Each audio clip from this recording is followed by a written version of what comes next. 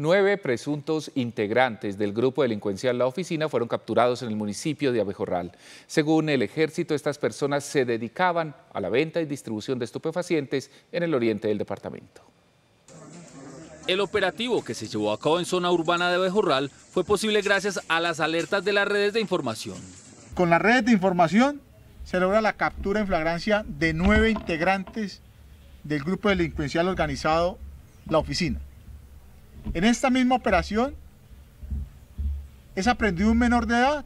A los capturados se les ordenó una medida de aseguramiento privativa de la libertad por los delitos de fabricación, tráfico y porte de estupefacientes y porte ilegal de armas de fuego. Neutralizar y atacar el microtráfico que el clan del Golfo y grupos delincuenciales organizados pretenden generar en el oriente del departamento de Antioquia que está causando homicidios selectivos y homicidios colectivos. A los nueve capturados se les incautaron materiales de guerra y alcaloide necesario para sus rentas ilícitas.